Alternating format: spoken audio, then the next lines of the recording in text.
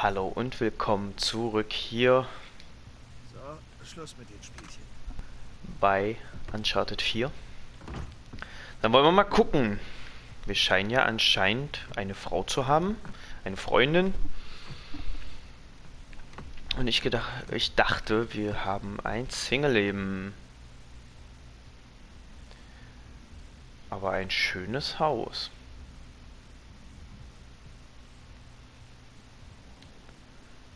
Oh, daran Bangkok.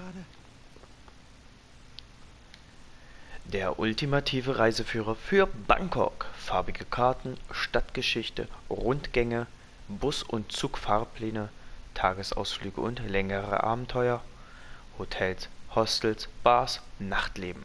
Egal, ob Sie schon einmal in Bangkok waren oder ob es Ihre erste Reise in die thailändische Hauptstadt ist, dieses Buch wird Ihnen bei der Reiseplanung helfen, von den üblichen Touristenzielen bis hin zu Abenteuern abseits des Touristenrummels. Besuchen Sie den großen Palast und den Lak Myang Schrein auf der historischen Rattan-Noxen-Insel, entdecken und probieren Sie die Waren des Chatuchak-Markts und finden Sie heraus, wo man am besten etwas trinkt, ein Tuk-Tuk herbeiwinkt und anschließend übernachtet. Vollgepackt mit Ortskenntnissen können Sie mit diesem Reiseführer das Beste aus Ihrer Reise machen. Bangkok Reiseführer. Na dann.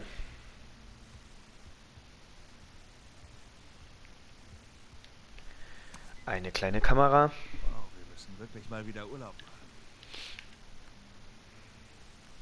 Zu lange her. Wow, nur drei Bilder oder so waren's, ne? So, ich habe gehört, vom Essen Hände waschen. Aber irgendwie funktioniert das nicht. So. Da geht's runter. Hier sieht's wieder aus wie Sau. Das kann ja wohl nicht wahr sein.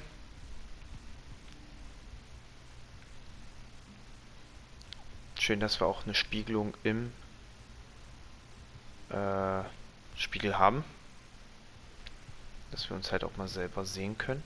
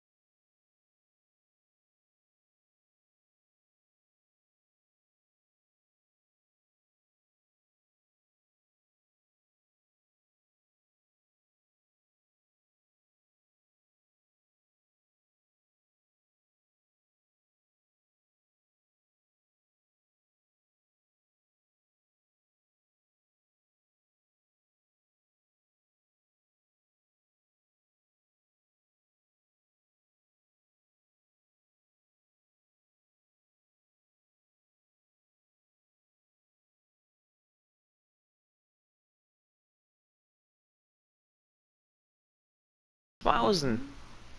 Fertig, okay. Hm.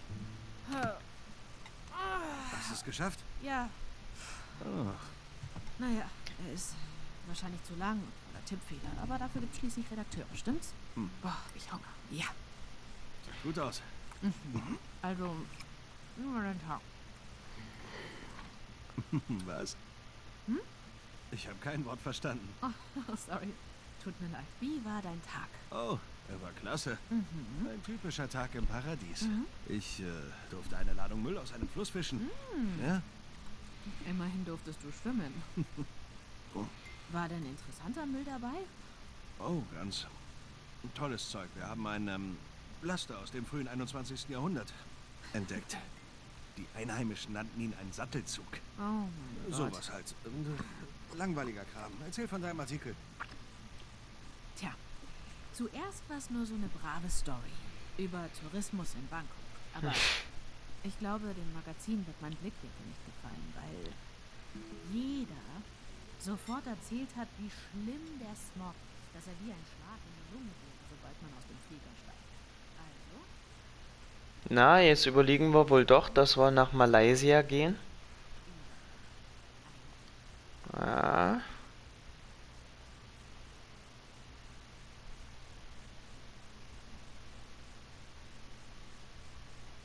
Hey.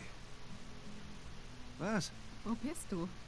Ich bin hier und werde mit Gabeln gespickt. Wirklich? Was? Erzähl weiter. Es war, es war echt interessant. Oh. Ja. Und wovon handelt mein Artikel? Was? Hm. Der hier? Mhm.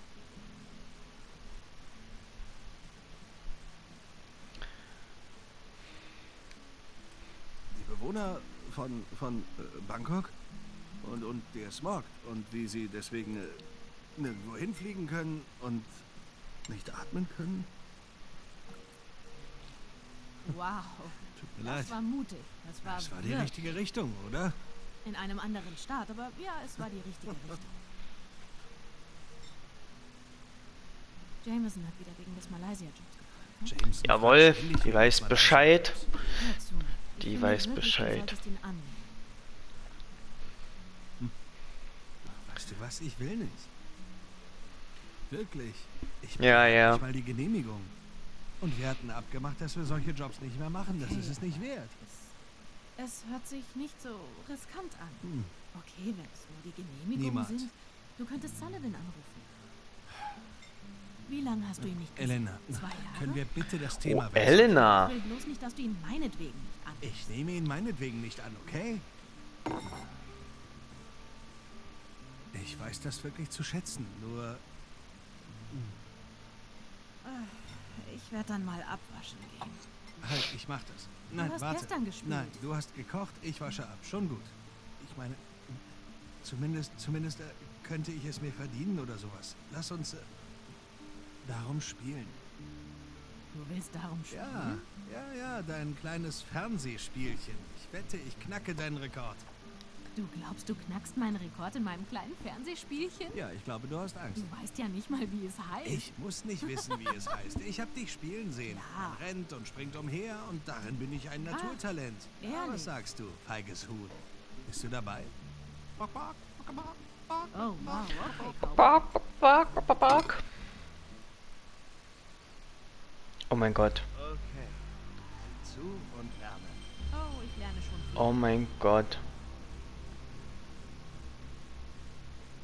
Was ist es?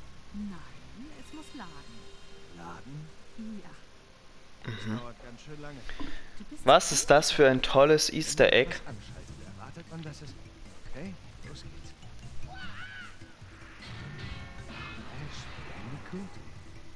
Gibt's ein Problem? Nein, nein. Aha. Äh, wie kriegt man, äh, wie kriegt man's zum Laufen? Du musst die Starttaste drücken. Das wusste Okay. ich. Ich hab's. Okay. Lauf auf die Kamera zu. Zur Kamera laufen. Geht klar. Und die Kreistaste ist ein Dreh. Ja, und mit X springst du. Okay, wo ist X? Beim Wie cool. Okay, lauf von dem Felsblock weg. Verfolgt mich der Felsblock? Lauf einfach davor weg. Ich habe dem Felsblock nichts getan. Tut nicht weh?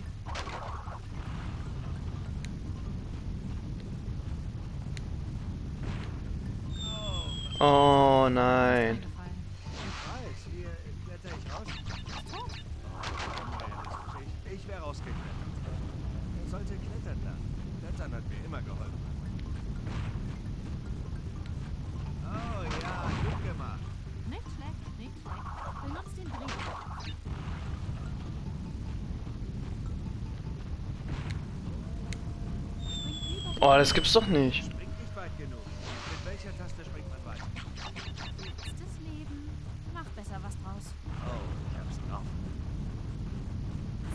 Grube.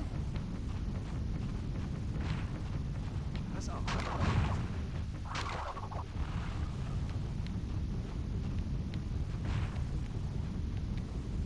Genug Grube. Oh, was ist denn nun los?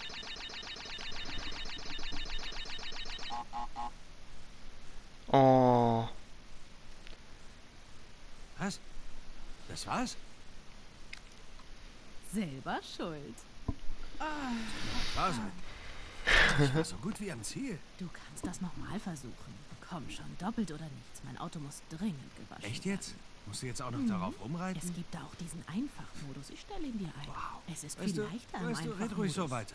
Red weiter. Was willst du Ich, tun? ich warne Was dich. willst du tun? Ich warne echt dich. jetzt? Was Hey, willst du ich tun? sag's- Zeig's mir. Ich Was sag's willst dir. Du tun? Wie findest du das? Hä?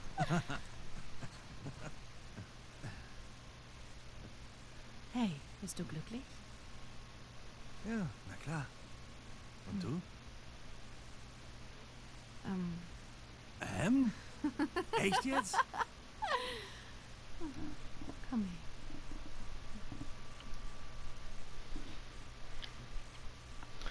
Dann wollen wir mal die beiden nicht länger stören.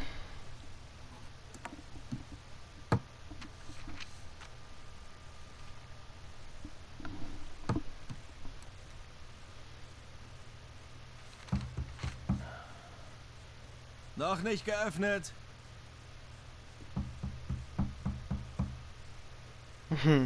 Geschlossen. Oh Mann. Okay, ich komm ja schon, ich komm ja schon. Arschloch. Ja, kann ich helfen? Ja, ich äh, suche meinen kleinen Bruder. Etwa ihre Größe. Etwas schlanker. Etwas weniger graue Schläfen. Sam? Schön, dich zu sehen, Nathan. Oh mein Gott, Sam. Wow, okay, okay, langsam, langsam. Wie? Ich dachte, du... Du wurdest getroffen. Ja, das stimmt. Genau hier. Oh Mann. Die Ärzte, Ärzte, die haben mich zusammengeflickt und zack, war ich zurück in der Zelle. Ja, aber ich habe rumtelefoniert, alles überprüft. Und es gab überall dieselbe Antwort. Du seist tot. Nathan, wir haben den Wärter getötet. Ich sollte für den Rest meines Lebens in der Zelle verrotten. Und das wäre ich fast. Mensch, Sam, ich... Mann, hätte ich das gewusst. Bei Gott, ich Du wäre wärst sofort... gekommen. Ich weiß, Nathan. Ich weiß. Was jetzt zählt, ist, dass ich draußen bin. hey, hey. Alles klar bei dir? Ich muss an die Luft.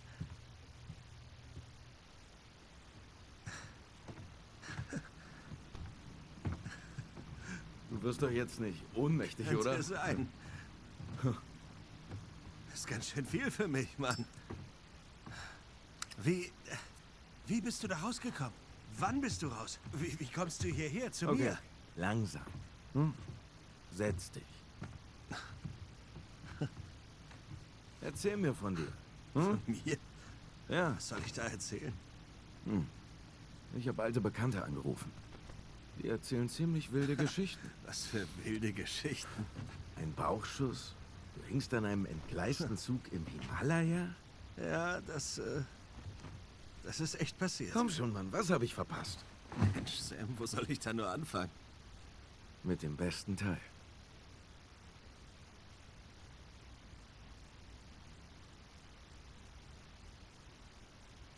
Okay, ähm...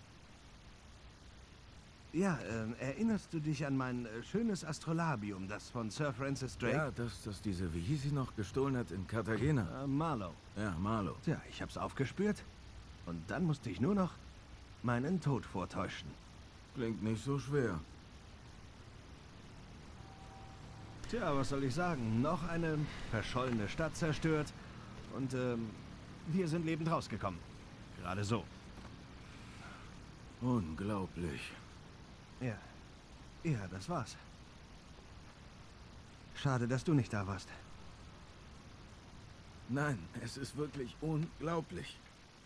Du, du stolperst schon wieder über eine archäologische Goldgrube und schaffst es, am Ende mit leeren Händen dazustehen. Wie immer. Tja, das ist wohl mein Schicksal. Hm. Aber ich habe schon hier und da ein paar schöne Sachen gefunden. Hat fürs Auto gereicht, das Haus, den Verlobungsring, den... Verlobungsring? Ich bin verheiratet.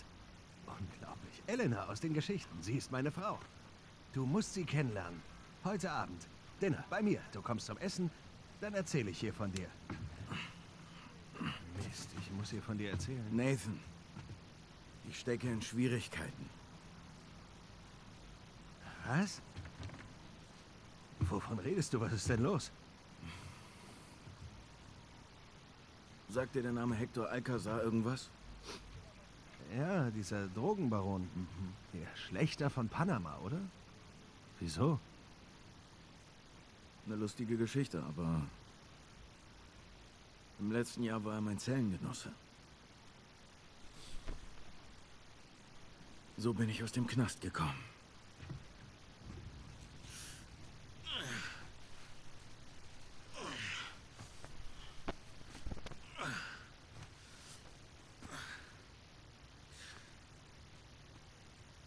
Liest du es gar nicht? Samuel, komm her. Sorry, dass ich jetzt hier nicht spreche, aber ich denke, das ist einfach Hör mal, in den Zwischensequenzen besser. die Wachen. Sie singen. Naja, die sind bestimmt besoffen. Kann sein. Aber sie sind zufrieden. Wie können sie mit ihrem mickrigen Leben zufrieden sein? Ihrem erbärmlichen Job. Naja, sie haben Ehefrauen, die auf sie warten. Was haben wir? Nichts für ungut. Wir haben Ehrgeiz. Oh, Und wenn wir hier rauskommen, wird uns dieser Ehrgeiz weiterbringen, als es sich diese Idioten vorstellen können. tja, dein Optimismus in allen Ehren. Was hast du vor, wenn du hier rauskommst, Samuel? Das heißt, falls ich hier rauskomme. Du kannst es dir sicher vorstellen. Kann ich. Aber ich will, dass du es sagst. Ich werde den größten Piratenschatz aller Zeiten finden. Was du inzwischen bestimmt schon nicht mehr hören kannst. Oh nein. Die Geschichte von Henry Avery und seinen 400 Millionen in Juwelen und Gold ist mein liebstes Schlaflied geworden. Glaubst du wirklich, du kannst ihn finden? Wenn ich die Chance dazu habe? Auf jeden Fall. Ehrgeiz. Wie heißt das Zitat von Avery? Ich bin ein Mann des Glücks und ich muss mein Glück suchen. Mir gefällt, wie er denkt. Was zum Teufel? Die Chance unseres Lebens. Senor Alcázar. El Guerrero. Okay, Sag mir, Dicky. Wow. Das kommt überraschend. Samuel. Bist du bereit, dein Glück zu suchen? Ich bin auch bereit. Genau, los geht's. Ich weiß gar nicht, ob das das Los geht's heißt, aber Hector Alcazar. Kapitel 5. Oder fünfte Episode, ich habe keine Ahnung. Seit ich hier reingekommen bin. Samuel, beeilen. Wir müssen schnell sein. Heilige Scheiße. Guten Tag. Gute Nacht.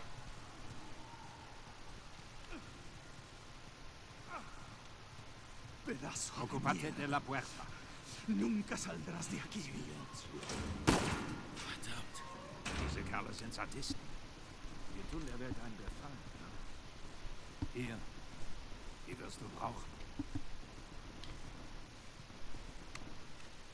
Du weißt noch, wie man damit umgeht. Ja, das kommt schon wieder. Abran todas las puertas. Hector, damit löst du einen verdammten Aufstand aus. Ja, genau. Háganlo.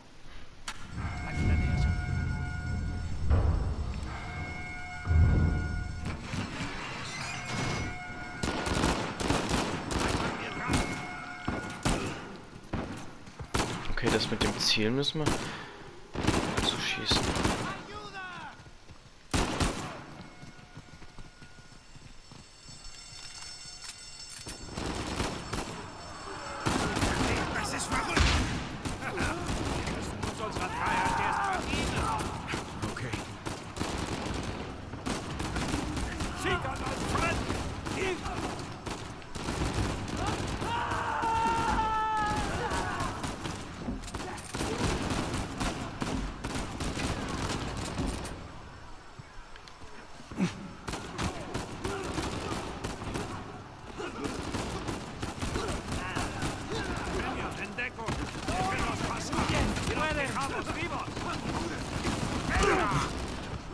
Danke.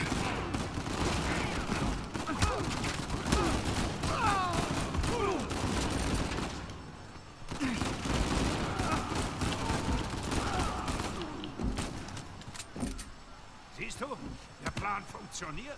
Das sehe ich.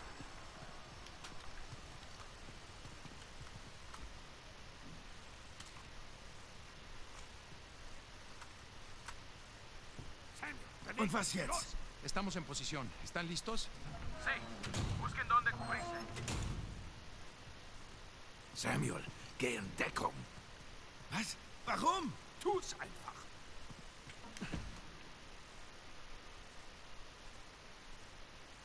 Samuel, geh in Deckung. Ich bin in Deckung. Bist du okay? Ja, Gott. mir geht's gut.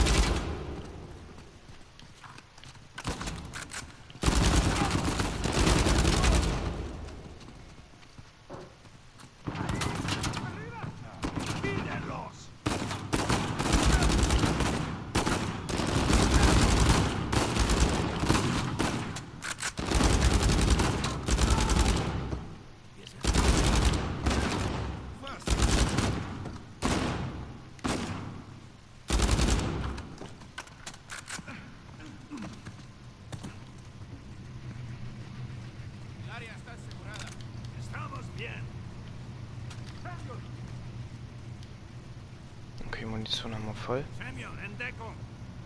Schon wieder? Samuel, gleich sind wir entweder frei oder tot. Ja. Sie sind an uns dran.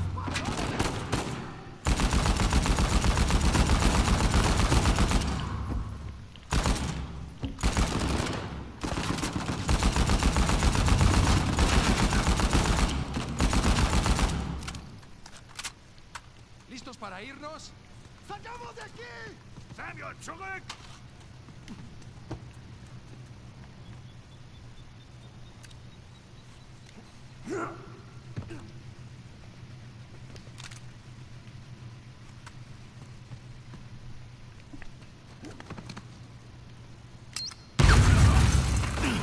Ach du Scheiße. Ja, jetzt hab dich mal nicht so.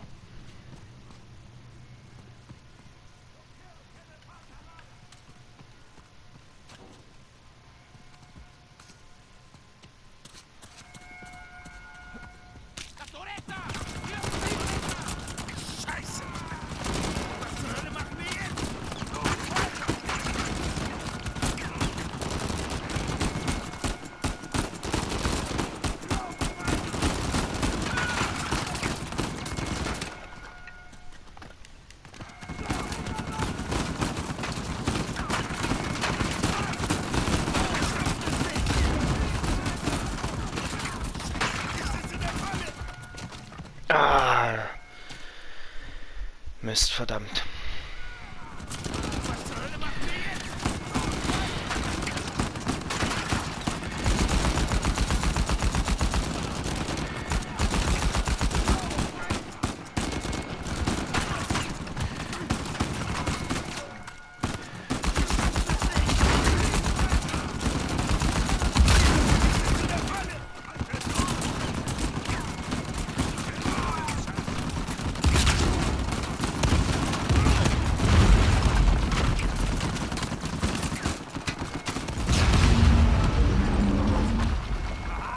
Siehst du? Keine Zeit zu verschnaufen. Beweg dich! Las camionetas están en camino. ¡No se paren! ¡No nos pueden detener! Heiliger Bimbam. Gott, die mit ihrem Sprengstoff. Man kann es auch übertreiben. Lauf weiter!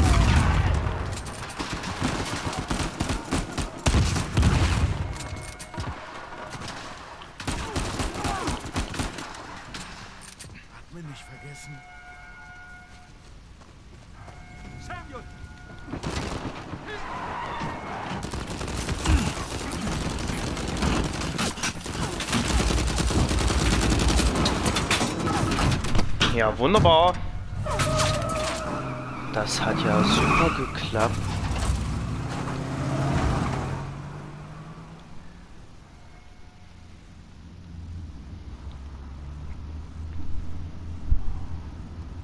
Aber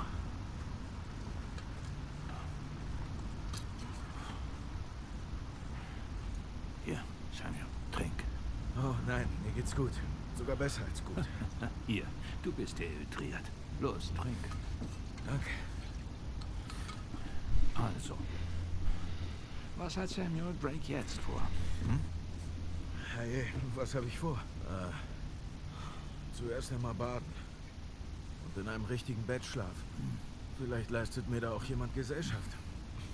Äh, meinen Bruder finden. Klingt für den Anfang ganz gut. Ja, stimmt. Also. Was glaubst du? Wie lange brauchst du, um Averys Schatz zu finden? Äh, keine Ahnung. Ich muss zurück in die Staaten und die Suche fortsetzen. Wie lang? Schwer zu sagen, bevor ich anfangen kann. Du weißt auch, wo er ist. Ja, äh, stimmt. Okay, aber hör zu, es, es ist nicht so, als hätte Avery eine Karte mit einem roten Kreuz hinterlassen, okay? Aber es, es gibt eindeutige Hinweise. Oh, okay. Warte, warte doch mal. Hey, hey, hey! Langsam! Ganz ruhig!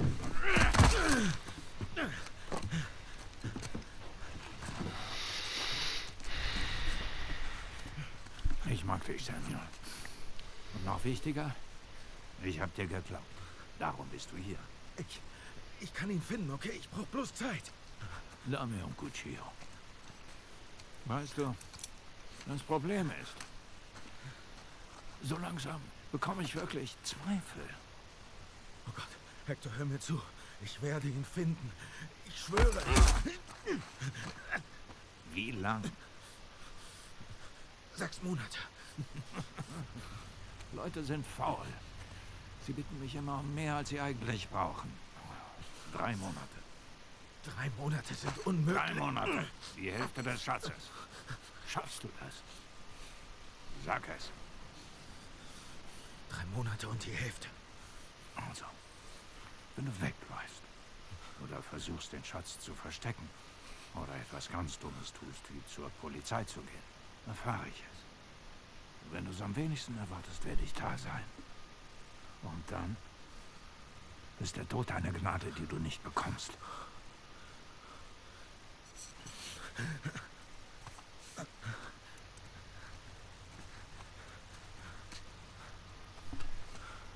Hier.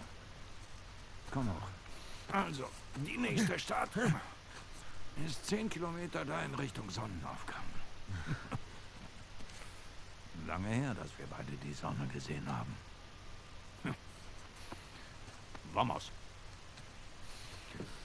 Wenn ich ihn finde. Los geht's. Was dann? Keine Sorge. Wenn die Zeit kommt, werde ich da sein.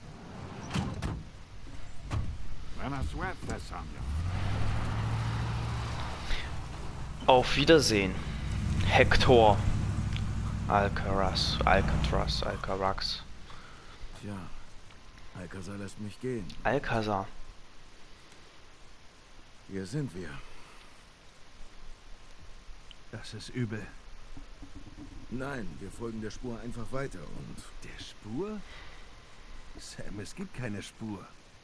Nach Raves und meiner Flucht kaufte er mit dem Geld seiner Eltern das Land um die Kathedrale des heiligen Dismas. Wir haben alles durchkämmt. Averys Schatz ist nicht dort. Natürlich kein Grund für Rave. Der Vollidiot buddelt da schon seit Jahren vor sich hin und findet nichts. überrascht mich nicht. Was heißt das? Tja, ich habe sozusagen selbst ein bisschen gegraben.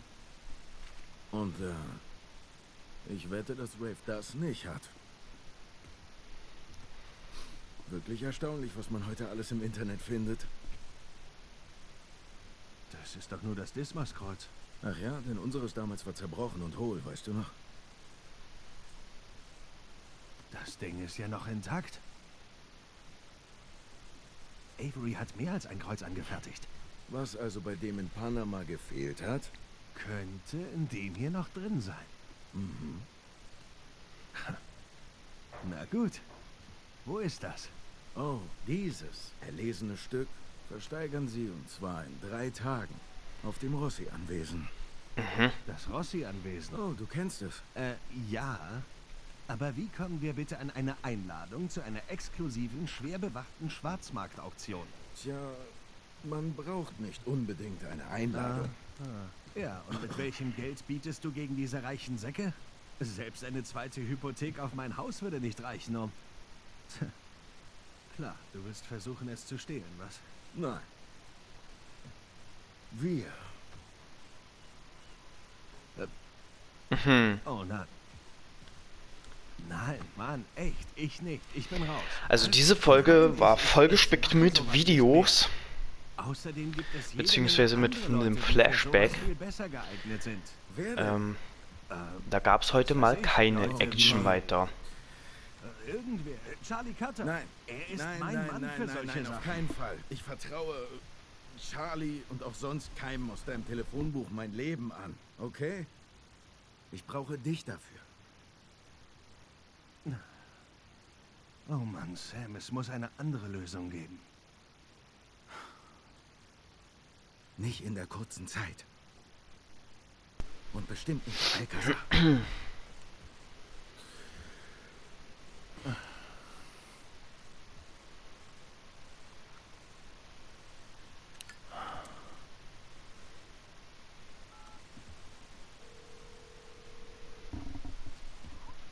Hallo Schatz, ich bin's. Ja, äh, hör mal, das glaubst du nicht. Äh, Jameson kam gerade mit den Genehmigungen rein. Er. Ich weiß, ich weiß, aber äh, wie es aussieht, mache ich den Job in Malaysia doch.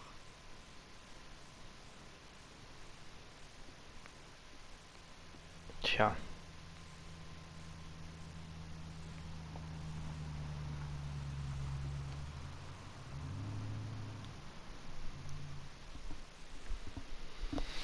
Schon was?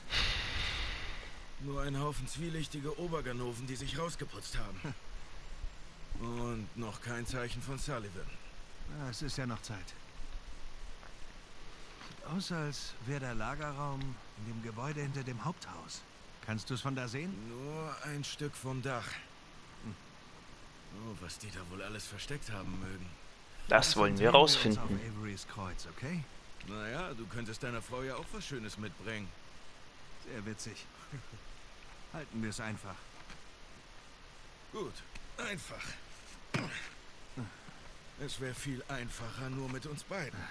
Sam. Wir könnten schon längst drin sein. Ja, aber wie?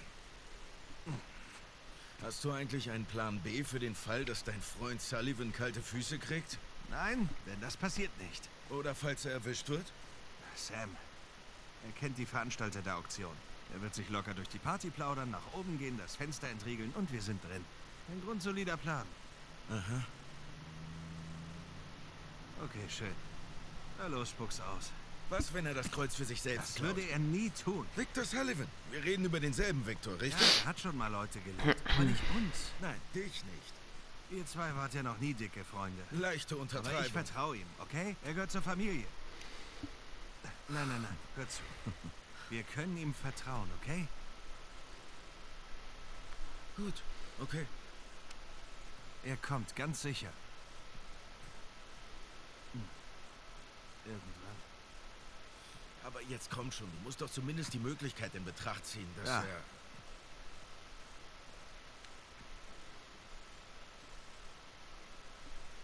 Siehst du? Vertrauen. Hey, Versucht den Smoking sauber zu halten.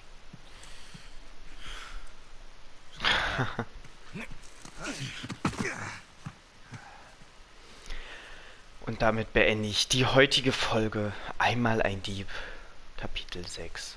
Und wir sehen uns in der nächsten Folge wieder. Bis dahin, danke fürs Zuschauen und